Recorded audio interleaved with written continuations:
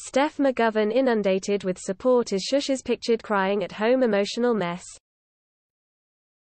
Steph McGovern has been inundated with support after she shared a picture of herself crying. Steph McGovern, 39, confessed to her fans that she was an emotional mess alongside a candid snap of herself with tears rolling down her face.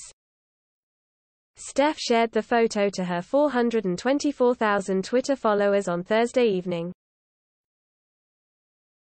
The presenter said she was crying after watching the last ever episode of Derry Girls. She penned, My face after finishing Derry Girls tonight.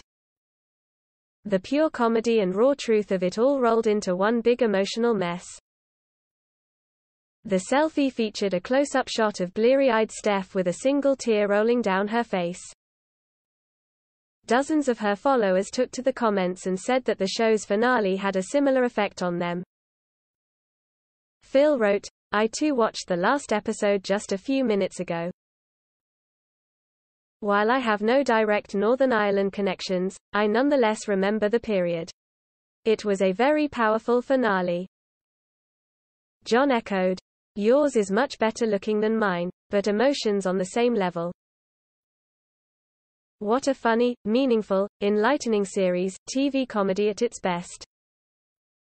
While Emma commented, I sobbed for two hours and made an appointment to see my psychologist because of it. Dot not kidding. And Katie shared, I was just the same last night, what a series and what a finale. It was perfect and so apt for this moment in time. I couldn't speak for about 10 minutes after watching it, unheard of phenomenon. Derry Girls aired its final episode of the third series on Channel 4 on Tuesday. The series, which first aired in 2018, stars Saoirse Monica Jackson, Louisa Harland, Nicola Coughlan, Jamie Lee O'Donnell and Dylan Llewellyn. It is set in the 1990s during the Troubles and explores the life of a teenager at such a turbulent time. The show has been praised as an accurate depiction of Derry during that period.